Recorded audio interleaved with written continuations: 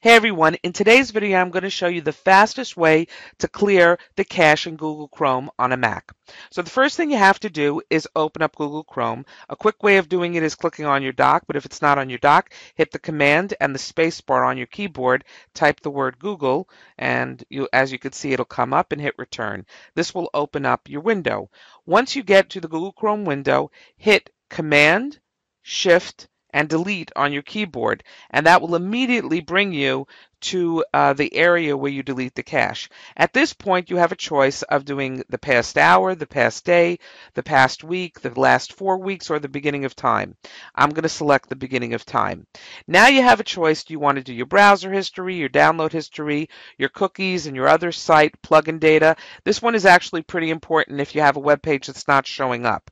Cached images and files is also another one that's important if you have a web page that doesn't seem to be viewing properly passwords and auto form uh, fill data, you definitely want to have checked if you're on other people's computers, but if you're on your own and you don't want to have your passwords be deleted from your computer, um, and that's not the passwords to log in. These are just the ones uh, when you're going to your websites for your email, etc. So if you don't want them to be deleted, uncheck that. So usually what I do is I check everything but the passwords.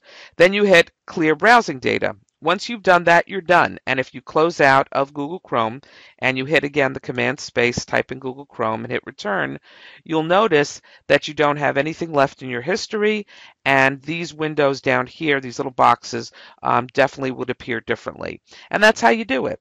Now, a couple of other keyboard commands that are kind of cool to navigate around Google Chrome is using the command and the N key for a new window. So you get a quick new browser window, that is.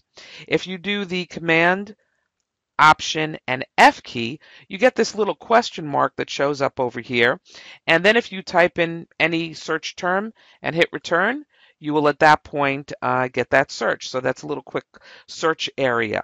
Now, once you're in this window, if you really want to zoom in, you can do so by hitting the Command key and the plus key, which is next to your delete key.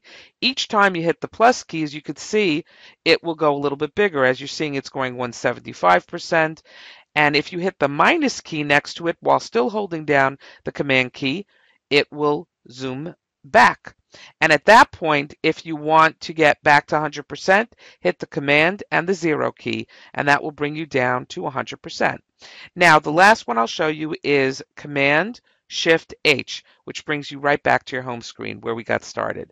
So again, if you want to clear the Google Chrome cache, hold the Shift, Command, and delete key, and that will bring you right to the window that you need to to clear the cache. Hope you enjoyed watching this video.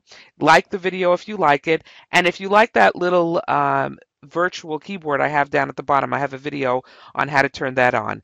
Thanks for listening, and uh, subscribe to the channel.